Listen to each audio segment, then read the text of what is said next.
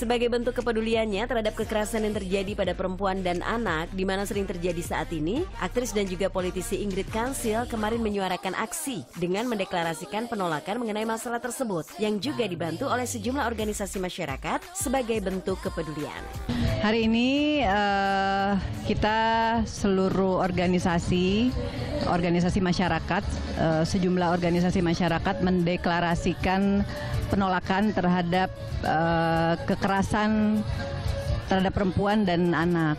Jadi ini merupakan uh, optimalisasi atau peningkatan dalam hal